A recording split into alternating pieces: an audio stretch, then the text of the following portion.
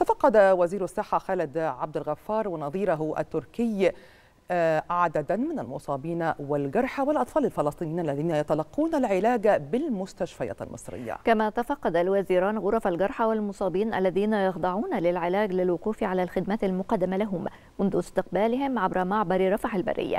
واتفق الوزيران على إمكانية التعاون المشترك في تقديم الرعاية الصحية لضحايا الأحداث في قطاع غزة والذين تم إخلاؤهم ونقلهم لتلقي العلاج بجهود مصرية خالصة.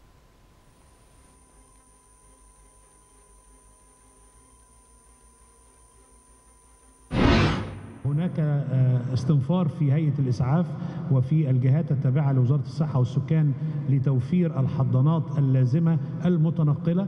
صعوبة هذا الموضوع هو انتقال الأطفال الذين نعلم عددهم أكثر من 35 طفل وهناك طبعا زيادة في الأعداد لأن هناك ولادات دائمة سواء بيعانون من نقص في الوزن أو الولادة قبل الميعاد أو بعض عدم اكتمال الرئة فيعني موجودين على أجهزة التنفس الصناعي.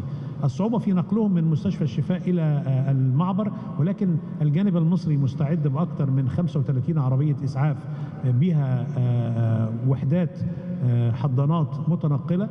حتى وصول أي طفل أيا كان عددهم سيتم التعامل. وهناك خطة موضوعة لنقل هؤلاء الأطفال إلى مستشفيات شمال سيناء أو إلى أيضا مستشفيات خاصة بمنطقة القناة. وبالتالي نحن على تواصل مستمر كل ما نتمناه أن نصل إلى مرحلة وجود الأطفال المبتسرين إلى المعبر وسوف يتم التعامل معهم فورا. وإنه بعد الأحداث التي التي مرت منذ السابع من أكتوبر الماضي. فإننا ومع زميلي السيد عبد الغفار نعمل بشدة وبشكل وثيق ومتضامن على المستوى الشخصي أو الفني وما زلنا مستمرين في هذا التعاون.